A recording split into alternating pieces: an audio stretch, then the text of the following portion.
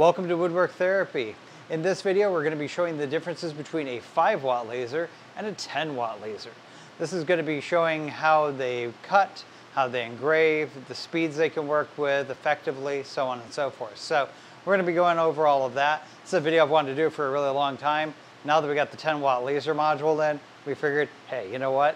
It's time. So let's go ahead and get started on that. And as you know, we don't just do laser stuff here, we do woodwork as well. So whether you're into woodworking or whether you're into laser work, we're gonna have a little bit of everything here. So as we are a DIY channel. So don't forget to like the video if you like it, subscribe to the channel if you're into that stuff, and uh, hit that bell notification icon for all of our newest videos. In the meantime, let's get burning.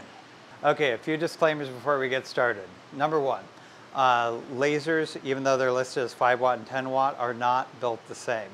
Uh, even amongst the same manufacturer, they may have slightly different performance differences between one and another. Uh, number two uh, is, is that different manufacturers also have a tendency to manufacture 5, 10, 20, and 40 and so on watt diode lasers slightly different. So again, you might see some different power as a result of that than what you see in our demonstration. Number three, the cleanliness of your laser directly affects your laser's performance. So we're going to be working with lasers that have all been really thoroughly cleaned or coming straight out of a box. So ultimately they're going to be super clean, so you're going to be seeing their best performance. But keep in mind though that if your laser is dirty, your performance may vary. In essence, it's kind of a more or less mileage may vary kind of a statement. So let's keep that in mind and let's go on to our first topic. All right, with all that messiness out of the way, let's get on to our first topic. So our first topic on this one is going to be showing off what the 5 watt laser can do. So let's get to it.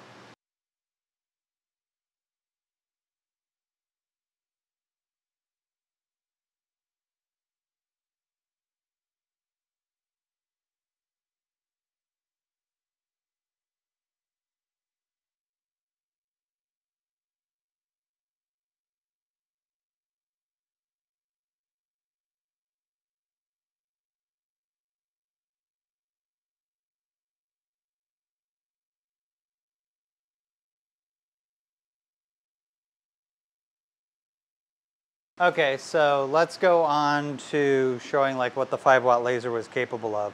So let me go ahead and show you some shots of like what I have here in my hand. So the uh, 5 watt laser on 2 millimeter birch, I know I said 1 earlier in the video, it's actually 2 millimeter birch. Um, this one can theoretically uh, cut all the way through 2 millimeter birch at roughly 300 millimeters per second with a power of 80. Now, that being said, you're probably not going to actually use that setting. You're probably going to use a much more aggressive setting. I normally recommend whatever your test cuts at for that speed, add about one to two uh, power levels to it before you do an actual cut. The reason being is, is that when you're doing a square cut on here, which most things you're going to cut on a laser are not going to be square, uh, it's just, it doesn't work the same. I don't know how to explain that totally, but that's kind of the easy way to look at it. So generally 10, maybe 20% power more is suggested. Now, when we get down to the right side of the card where we're looking at uh, where we have our kind of our grayscale burns in here, this kind of shows you kind of how we would do like a uh, solid object, right? So on this one, on the 5 watt, we're able to go and pull out at roughly around 5,000 at 90 is not too bad. I kind of like 5,000 at 100 a little bit better. I think that it gives a nice light uh, kind of a burn to it, but at the same time, the 90 is probably the best overall because the reason it gives a little bit more character to it. So it depends on like really what effect you're going for. Like for instance, if you wanted something that's a little bit more bleached out, but you wanted it really fast, I mean, really honestly, uh, 5,000 at 40 would actually do pretty good. And of course, like I said, this is just the 5 watt laser. Uh, so we'll go ahead and move on to the 10 watt laser here in our next one, and then we'll show you how that works, and uh, then we'll go over the card afterwards. So let's do this.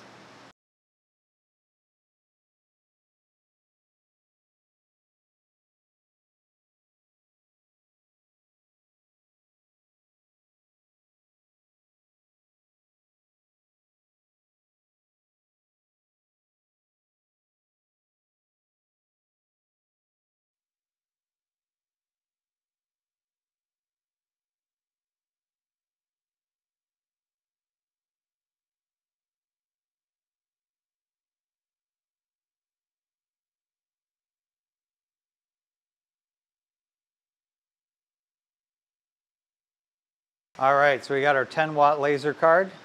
Let's go ahead and review it together. So I'm going to put those things back up on the screen here for you. All right, so on the 10 watt laser on the 2 millimeter birch, we're going to be looking at uh, 700 uh, millimeters per second on the speed with 100% power is the maximum possible cut that it can do. Again, in this case, since we can't go two up, I'm going to actually recommend on this one, actually probably bring the speed down a little bit and lower the power. And again, on this one, it's going to be primarily because the reason we want to reduce um, any, any smoke on the material, right? And a 10 watt's going to generate a fair amount of smoke. And if you don't have an air assist, you get the idea. 5 watt's going to generate more because it takes it longer to cut through the material, but a 10 watt will still very much so create smoke. There's no doubt about that.